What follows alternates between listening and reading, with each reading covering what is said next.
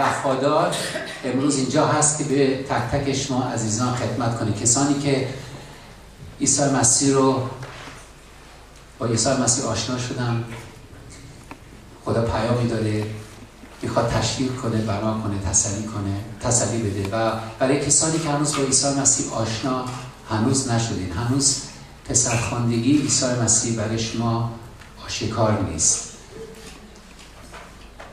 امروز یک روزی هست که اگر به او این امکان رو بدین و خودتون این دعا رو بکنید اگر واقعا عیسی مسیح تو پسر خدا هستید همون برای یه برادری بود که نمی‌دونم کدوم بود که گفته مغز من هنوز فکر کنم تو تو بودی نه منظور؟ که مغز با مغز من من نمی‌تونم با خدا آشنا بشم. من نمی‌تونم با فقط عقل من خدا رو بفهمم.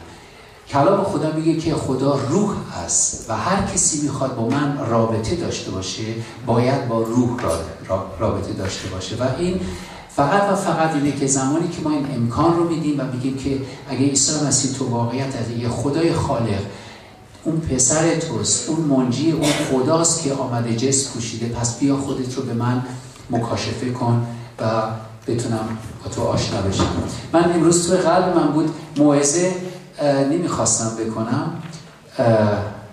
بلکه تو قلب من بود این چند تا آیه هایی که از برای شما آماده کردیم. آیه های تمیلتون نه فقط برای شما بخونیم اینا چیزهایی هستن که در دعا خداوند به ما بخشیده که بتونیم بگیم برای شما برای اعلام کنیم روی زندگی شما فقط کتاب مقدس برای پر از وعده های خدا هستن. فقط تو قلب من بود این قسمت هایی که اعلام کردیم کلا برای برای, برای همه ما برای مخصوصا کسانی که عیسی مسیح نمی‌شناسن بیشتر آشنا کنیم. و در یوحنا به هشت برای سجاد بود. خودش اینجاست؟ نموز پایینه. سجاد بود که در یوحنا به هشت آیه دوازده و میگه که من نور عالم هستم کسی که مرا متابعت کند در ظلمت سالک نخواهد نشود. بلکه نور حیات رو یابد. هر کسی به عیسی مسیح ایمان بیاره در نور زندگی خواهد کرد. در نور یعنی چی؟ نور یعنی تو می‌دونی با چه محبتی خدا اول تو رو دوست داره؟ چقدر با ارزش هستی؟ در نور زندگی کردن که متوجه بشی که هنوز که در دنیا نبودی هنوز در شاید در شکم مادرت بودی هیچ کسی از تو اطلاع نداشت او از تو خبر داشت و تو رو اون موقع هم دوست, داشت. نور یعنی بدونی که به چه دلیلی تو خلق شدی و آخر کجا خواهی رفت. یک آزادی تو زندگی میاری الان نمی‌دونم الان با عیسی مسیح که الان آشنا شدی خیلی خوب می‌دونی. تو قلب تو تو روح تو خیلی خوب می‌دونی که امروز بمیری چشمت کجا باز خواهی کرد. اگر کسانی که اینجا هستن که نمی‌دونن امروز یه اتفاقی که زندگیت بیفته چشمت کجا باز خواهی کرد؟ اگر این با اطمینان نتونی بگی که پیش خداوند پس مشکلی داری. و اینجا عیسی مسیح میگه که هر کسی به من ایمان بیاره نه در ظلمت ظلمت یعنی یه جایی هست که اصلا تو نمی‌دونی چطور میری کجا میری و هیچ اطلاعی نداری که دورور خود چه اتفاقاتی میفتن بلکه میگه که نور جه... نور نور حیات زندگی خواهند کرد. نه نور دنیای بلکه نور حیات که روز به روز به تو شادی آرامش محبت میبخشه. امروز هم خداوند به تو میگه که آیا کجا زندگی می‌کنی؟ تو ظلمت زندگی می‌کنی؟ چند نفری همینطور توی شهادتاشون گفتم که خیلی چیزایی به دست آورده بودیم فقط هنوز یه خلایی بود در من هنوز مشکلایی بود هنوز نمی‌دونستم کجا زندگی می‌کنم به چه دلیلی من زندگی و زمانی که عیسی مسیح رو این تجربه رو خودتون کردید وارد زندگیتون شد دیگه یک آرامشی میاد. و این آرامش از زمانی میاد زمانی که نور خداوند و عیسی مسیح خودش میگه من نور این دنیا نور این جهان هستم. و من می‌خوام این نور وارد زندگی تو بشه. اون موقع تفاوت رو خواهی دید. این نور گرمی تو زندگی تو بیاره و زندگی تو رو دگرگون خواهد کرد. یه چیزی داخلیه یه چیزی نیست که از بیرون وارد بشه تو زندگیتون. این یک آیه بود که برای سجاد انتخاب کرده بودیم. یک آیه دیگه هست که برای علی که هنوزم هم پایینه. و الان اینجا خدای خالق به شما میگه. این آیه ها رو الان می‌خوانم برای شما. زیرا خدا می‌گوید فکرایی را که برای تو دارم. من می‌دونم چه فکرایی هست.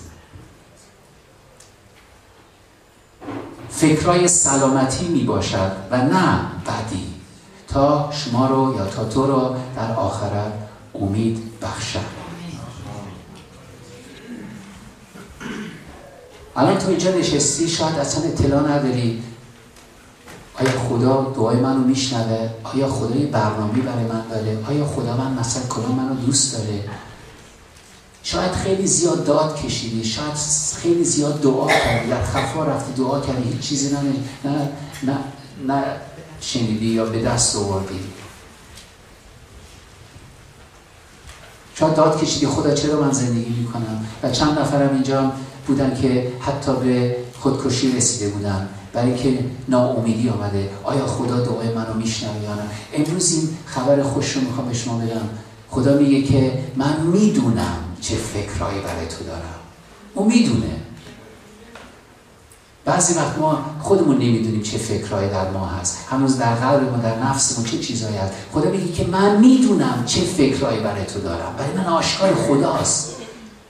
این فکرهایی که برای تو دارم فکرهای خوب و شگفتانگیز هست که برایش تو یک آینده ای بسازم. سرنوشت تو رو در دست بگیر در دست من بگیرم و یه آینده ای درست کنم که تا ابد به دست خواهی گرفت. یه چیزی موقتی نیست بلکه یه چیزی ابدی است خداست که زمانی که به شما گفته فکرهایی که برای تو دارم فکرهای خوب و سلامتی است که این آرامش رو این حیات رو به تو ببخشم که محبت من رو بچشی. زنده بشی. تو مرده بودی و من به وسیله رو هم تو رو زنده کردم.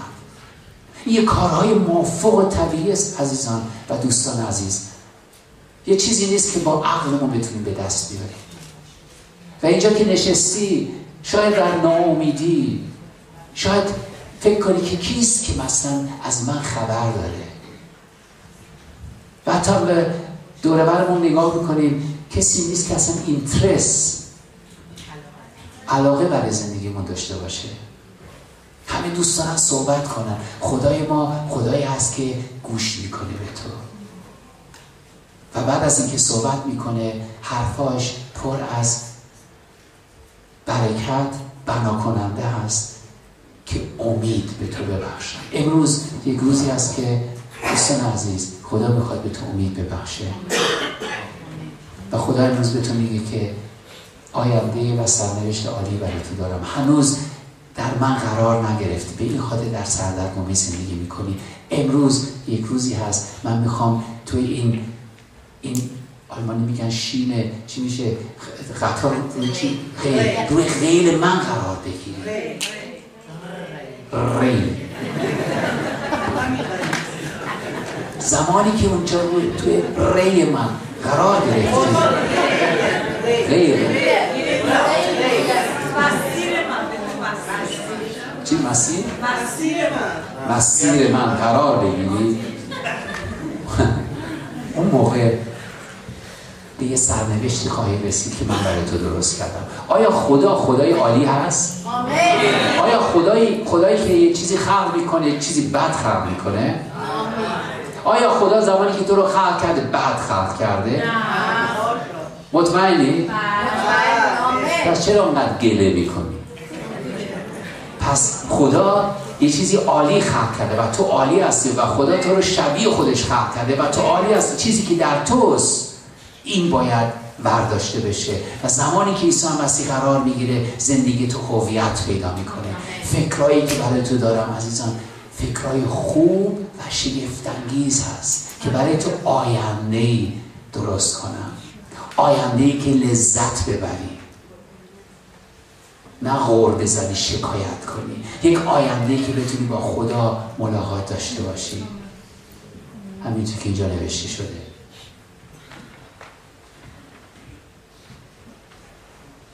برای محسن برادرم محسن اینجا من هستم.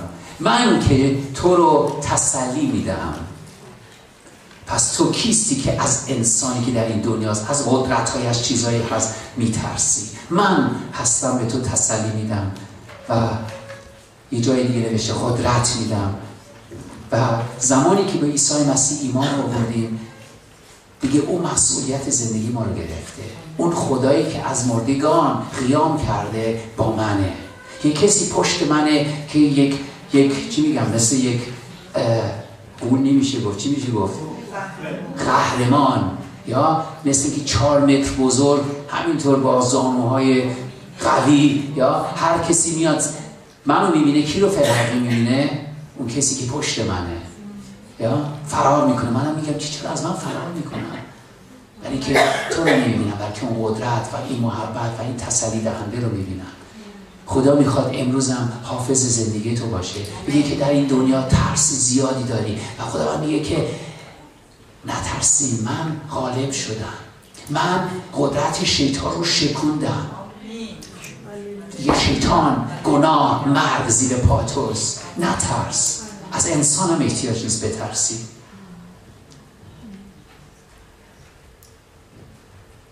بلکه اون که قیام کرده در قلب ما قرار گرفته. نترس. از انسان هم نترس. از موقعیات هم از مشکلایی که میفتیم احتیاج نیست بترسیم. خدای ما خدای قادر مطلق هست. خدای ما خدای غیر ممکن هست. خدای ما خدایی هست که درهایی که بسته هستن باز می‌کنه. این خدا هست که می‌خواد وارد زندگی تو بشه. تو تنها نیستی. فقط تو اون کسی رو نمی‌شناسی که می‌تونه زندگی تو رو دگرگون کنه. امروز این روزی هست که خدا می‌خواد با تو ملاقات رو داشته باشه. برای برادرمون یوسف بود. اینو خواهش می‌کنم. کلال تو بخونی یکم سخته برای من. این زندگی مافوق طبیعی است که خدا من رو هدایت می‌کنه. مزمور زیرا که تو چراغ زیرا که تو چراغ مرا خواهی افروخت. یهوه خدایم تاریکی مرا روشن خواهد گردانید. زیرا به مدد تو بر فوجها حمله می‌برم و به خدای خود از حسارها برمیجهم. آمین. این آیه برای تو بود که چطور خدا همینطور چراغ زندگی تو است اوست که تو رو هدایت می‌کنه. زمانی که به جاهایی قرار می‌گیری دیگه هیچ چیزی نیست. بومبست هایی هستن. فقط خدا میگه که من حتی از این بومبست ها از این شاید کوه های بزرگی مشکل های بزرگی فشارهای بزرگی است و میگه که من هستم. تو رو عبور می‌کنم. تو می‌تونی پیروز بشی. هیچ چیزی نیست که بتونی بترسی از او. و هیچ جایی نیست که در اینا باشه به خاطر اینکه عیسی مسیح خودش اینجا حادی زندگی ماست. بعض حادی زندگی توست. ما زمانی که ایمان آوردیم به عیسی مسیح به کی ایمان آوردیم؟ اون خدای ایمان آوردیم که خدای قادر مطلق و همینطور هم خدای غیر ممکناست و ما این تجربه رو کردیم. جایی که واقعا به یه ناامیدی رسیدیم درهایی باز شد و این باعث شد که واقعا پرستش کنیم و بگیم که واقعا خدا خدای زنده هستی و حتی در این فشار هاست حتی در این تاریکی بعضی وقت احساس می‌کنیم هستیم. اونجا نور او ما رو هدایت می‌کنه. این زندگی صمیمانه است که با خدا خواهیم داشت. و این چیزهایی هست که به حال هنوز زیاد تجربه نکرده و این چیزهایی هستن که منتظر شما هست. برای منصور. مزمور 91 آیات 10 و 11 هیچ بدی بر تو واقع نخواهد شد و بلایی نزد خیمه تو نخواهد رسید. زیرا که فرشتگان خود را درباره که تو امر خواهد فرمود تا در تمامی راههایت تو را حفظ نمایند. آمین. این یک دستوری است که خدا میده. میگه که من به فرشته ها خودم دستور دادم تو رو محافظت کنم. چرا؟ تو اسم منو خواندی. به این خاطر هر بلایی که در این دنیا هست عزیزان بلاهای زیادی هستن در این دنیا. شیطان روی این دنیا حکومت می‌کنه. و خودتون هم این تجربه رو داشتین که به خودکشی رسیده بودی مواد مخدر دیگه زندگی خود دیگه انداختی پایین دیگه هیچ ارزشی نداشت. درسته؟ و اینجا زمانی که او رو نمیشناختین خدا آمد و نجات داد. و الان چقدر زیادتر خدا من دستور داده و گفته که کسی که با من زندگی می‌کنه و کسی که نام من رو خوانده هیچ بلایی روی سرش نخواهد آمد بلکه من فرشته خودم رو دستور دادم که تو رو محافظت کنم و هدایت کنم. هر دو هر تک شما که تعمید گرفت گرفتی گفتی من می‌خوام از این به بعد با عیسی مسیح زندگی کنم. یعنی راه تازه شروع شده تو زندگیتون. درسته. و اینجا احتیاج به کمک داریم الان روح القدس به شما داده شده. فقط خدا من هم می‌تونه بگه که من حافظ تو هستم. من پناهگاه زندگی تو هستم. و اینم بعد هر هر کسی که عیسی مسیح رو قبول کنه عیسی مسیح اون خدایی که از مردگان قیام کرده اون پناهگاه توست. اون می‌تونه تو رو محافظت کنه. این چیزای مثبتی است که خداوند صحبت می‌کنه برای ما که بنا کنه امید ببخشه. در مزمور 59 آیه 9 و 10 یا بخون. ای قوت من به سوی تو انتظار خواهم کشید زیرا خدا قلعه بلند من است. خدای رحمت من پیش روی من خواهد رفت. خدا مرا بر دشمنانم نگران خواهد ساخت. این برای الهه برای تو بود. این آیه خداست که قدرت توست. الان خیلی چیزهایی که ما شنیدیم توی زندگی تو حتی توی ایران اتفاق افتاده بود. خیانت شد. به خاطر نام مسیح. بر حال ما بعضی وقت واقعا ترک میشیم از این دنیا. می‌دونی عیسی مسیح چی گفت؟ گفته که زمانی که 2000 سال پیش اینجا بود گفته که دنیا منو دوست نداره. برای اینکه من آمدم اینجا از گناه ایشان تعریف می‌کنم. دنیا دوست نداره زمانی که در حقیقت زندگی می‌کنیم. شیطان دوست نداره که ما نور این دنیا هستیم و در عدالت خدا زندگی می‌کنیم. به این خاطر کار شیطان اینه این نوری که در ما برای روشن شده خاموش کنه. هر نوری که در قلب ما میجوشه و, زنده میشه یه قسمتی از تاریکی خدا رو تاریکی شیطان نشون میده. یک هر کسی که نجات پیدا می‌کنه یک نشانه ای هست که عیسی مسیح پیروز شده و شیطان شکست خورده. و اینجا خداوند به نه فقط به تو میگه بلکه به هر کسی به من ایمان میاره میگه های زیادی اینجا هستن. فقط ها الان انسان برای ما نیست. ما با انسان کاری نداره ما باید فقط انجیل خداوند رو به همه برسونیم. همه ما یک روز گم شده بودیم. همه ما ترد شده بودیم. الان به وسیله خون مسیح به وسیله ایمان به عیسی مسیح پذیرفته شدیم و خدا گناه ما رو بخشیده. فقط اینجا در مورد دشمنایی صحبت می‌کنه. دشمنای نیروهای تاریکی هستن که می‌خوان خرابکاری کنن زندگی تو رو نابود کنن. خداوند به تو وعده میده. میگه که تو از بالا نگاه خواهی کرد که خداوند دشمنای تو رو چطور نابود خواهد کرد. این نیروهای تاریکی و کارهای شیطان. تو نگاه خواهی کرد. و زمانی که با عیسی مسیح قدم برمیداریم در پیروزی برمیداریم. ما دیگه کسانی نیستیم که با قدرت خودمون بجنگیم بلکه خدا در قلب تو قرار گرفته. آخرین آیه آیه برای محمد بود در یوحنا باب 15 آیه 16 میگه که شما.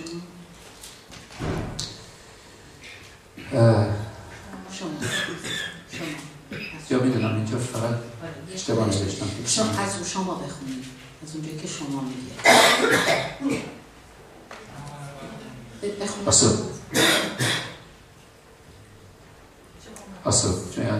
شما مرا بر نگزیدید بلکه من شما را برگزیدم و شما را مقرر کردم تا شما بروید و میوه آورید و میوه شما بماند. تا هرچه از پدر به اسم من طلب کنید به شما عطا کند.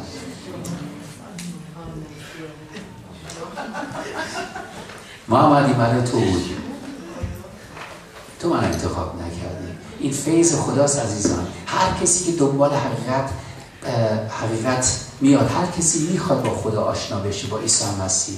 و اجازه میده خدا دخالت کنه خدا میاد و خودش نشون میده. یادمون هست که با محمد که آشنا شدیم اصلا ایماندار نبود اصلا هیچ چیزی نداشت. با هم نشستیم توی گروهی صحبت می‌کردیم همینطور گفته که من اصلا به خدا ایمان ندارم به خدا ایمان نداشت. بعد یه سوالی کردیم گفتم که حداقل نیم درصد داری یا نه؟ گفته نیم درصد دارم. نیم درصد. گفتم باشه این نیم درصد خدا می‌تونه صد درصد بکنه. آمین.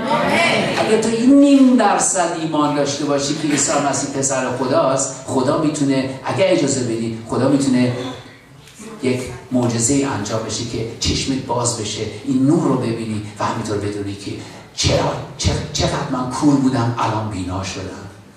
و اینجا خداوند وعده به شما میده که میگه که خداوند میگه که من تو من اون انتخاب نکردی من هستم. زمانی که الان تو اینجا نشستی این قدرت تو نبود این فکر تو نبود این اراده تو نبود. می‌دونستی خدا شما را اینجا دعوت کرده. از یه کسی شنیدین خدا یه کسی رو فرستاد. خدا دائما صحبت می‌کنه. خدا تو رو خلق کرده با او مشارکت داشته باشی. به این خاطر آرزو خدا اشتیاق خدا برای توست. اینجا نوشتید نه این یه چیزی که از اشتیاق خدا برای توست. او می‌خواد با تو ملاقات داشته باشه. و زمانی که به اون این امکان رو میدی خداوند جواب خواهد داد. و بعد از این میگه که تو رو انتخاب کردم و بری سمره بیاری. سمره منظور اینه که این حیات مسیح این شخصیت مسیح این محبت مسیح در تو شروع کنی به رشد کردن. ما متبدل بشیم. ما ما به جلال خدا زیبایی خدا تبدیل بشیم. خدا شما رو خلق نکرده و همینطور تعمید بگیری زندگی تو نرمال بمونه.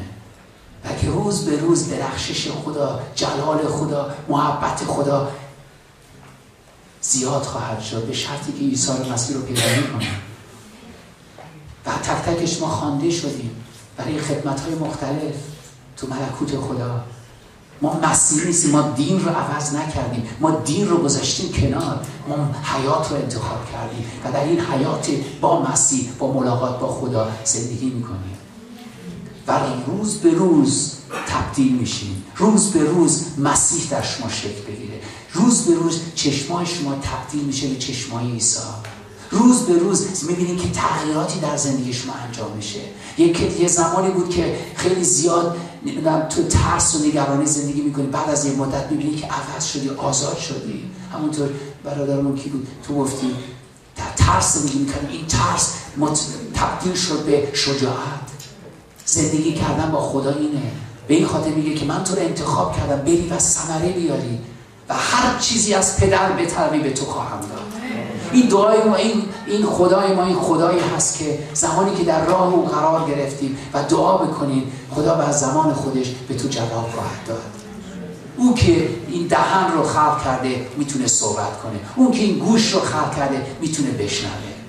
و امروز روزی هست که با این هفت آیه هایی که خداوند به شما داده امیدوار هستم یک آیه با قلبت صحبت کرده باشه و این مثل یه لنگر ورداریم. اجازه ندین از این عبور بشه بلکه وردارین الان می‌خوام دعا کنیم که این روز امروز این ساعت امروز رو خار نشموریم بلکه واقعا بگین عیسی مسیح اگه تو واقعیتی بیا تو زندگی من دیگر کن. خواهید دید؟ شاید دفعه دیگه با تو تمید که اینجا ایستادی. و می‌تونی شهادت بدی. منم آمدم کور و کر بودم این بودم این بودم این دیدم. عیسی مسیح زندگی من عوض کرده. آمین. با هم دعا کنیم.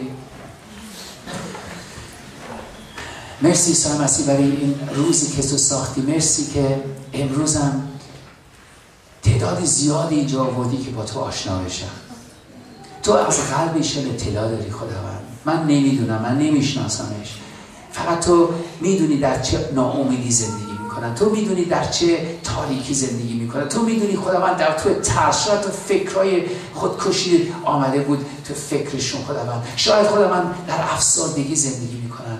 فقط الان روح قدس تو اینجا هستی. الان بیا لمس کن الان. روح قدس الان دعا می‌کنیم. الان دست تو بیاد روی این عزیزان خدا نور تو قرار بگیره خدا در قلبشون در فکرشون. این با این آرامش تو خدا من رو برکت میدم خدا همونطور که در این حال دعا هستیم می‌تونین این دعا رو بکنین. بگین و طوری دعا کنین که خودتون صدای خودتون بشنوین. نه تو قلبتون بلکه صدای خودت رو بشنوین. شاید خیلی آروم باشه مهم نیست. فقط مهم اینه که صدای تو بیاد بیرون. بگین ای خدای خالق. بیا چشمای دلم رو روشن کن. گوش های قلبم رو باز کن. که صدای تو رو بشنم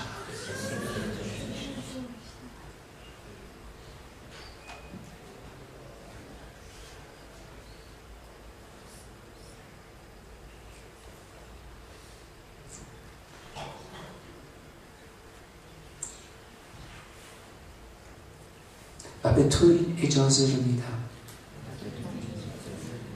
در زندگی من دخالت کنی.